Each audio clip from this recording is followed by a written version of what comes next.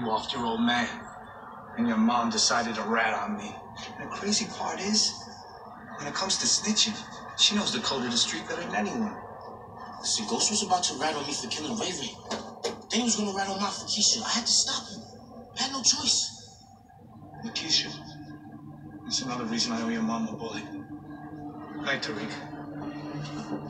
Tell your mother to put her affairs in order. Listen, mother, that's not gonna solve your problems.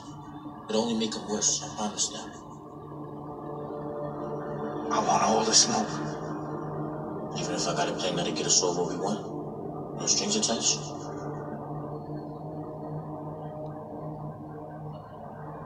Sure?